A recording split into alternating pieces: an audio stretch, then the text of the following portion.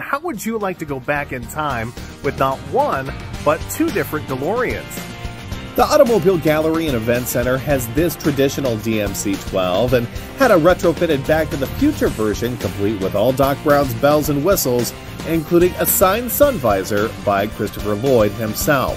Now, these were just two cars in this nearly 110 vehicle collection that caught my eye. From American Muscle to feeling like I was in a Grey Poupon commercial, each automobile made me feel something.